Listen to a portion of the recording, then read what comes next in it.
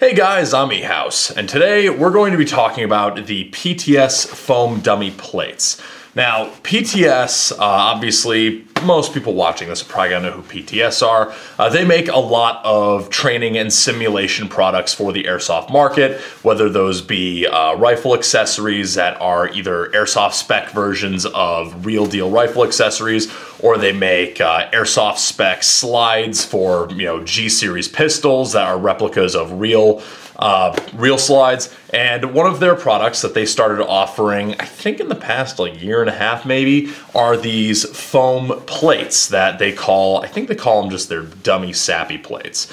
Now, what these are is they are exactly what it sounds like. They are foam, soft, flexible foam SAPI plates. And the point is you're supposed to use these in a plate carrier for airsoft purposes as opposed to, you know, going out and either buying real plates to put in an airsoft plate carrier or having the weight of a set of training plates for your plate carrier for airsoft and milsim use, just because in airsoft in general, actually having plates doesn't really make a whole lot of sense because, well, they offer no benefit. A hit anywhere is still a hit. You know, you're not going to be saving your in-game BB Wars life because you got hit in a plate instead of in anywhere else. Now, Milsim West has their own body armor rules, but those are dependent on weight. So these, for most gameplay, are going to be your solution for having something that maintains the shape and rigidity of your plate carrier, but still allows you to be soft, flexible, and comfortable in that plate carrier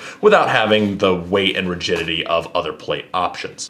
So to start, uh, what are the advantages of these over some of the other fake plate options on the market? Well, for one, they are very flexible and soft and bendable, but they're elastic and they main, well, elastic as in they memorize their shape, so they do return to shape. So what that means is basically when you're wearing a plate carrier with these in them, you basically are just wearing a giant pad.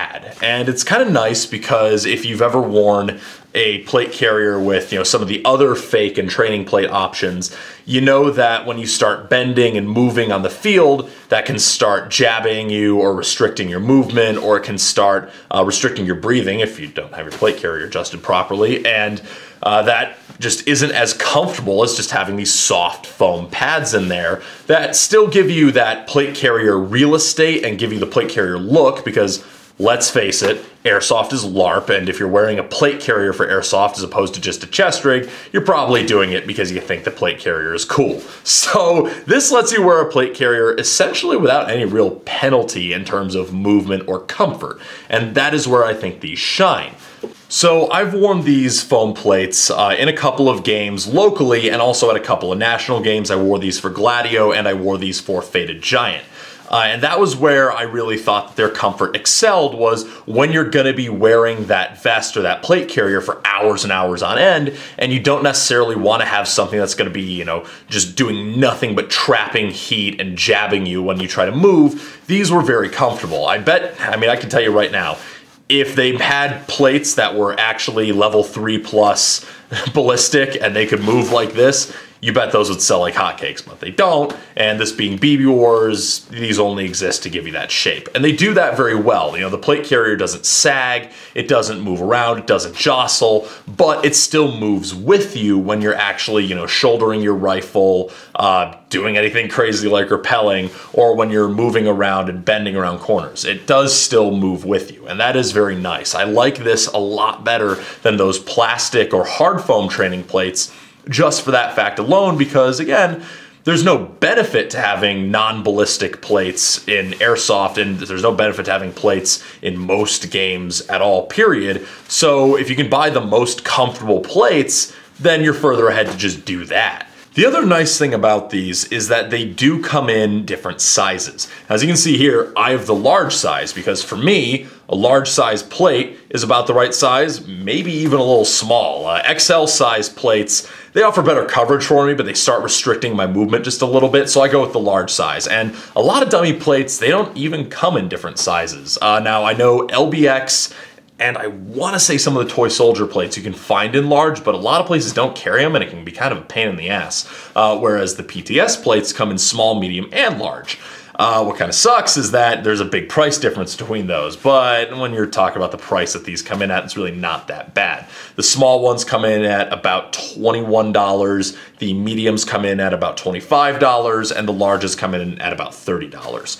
So it does kind of suck that you pay $30 for this set of fake plates, but these are really durable and I don't think you're ever gonna have to replace them. And when you compare them to, again, some of the other fake plate options on the market, I think you're getting a more comfortable product and a little bit of a more kind of just put together product for that price point. So I really can't complain that much. It just, it'd be nicer if they were a little cheaper so it'd be easier for me to buy one for every plate carrier, but you know, beggars can't be choosers. Now, for those of you curious on the accuracy of the sizing of the plates, uh, these are, from the best I can tell, comparing them to the real SAPI plates I've handled, these are pretty much 100% spot on in terms of the sizing. And to test that, I have here my Crye JPC in size large. For those of you who don't know, JPCs are sized according to the plate bag size.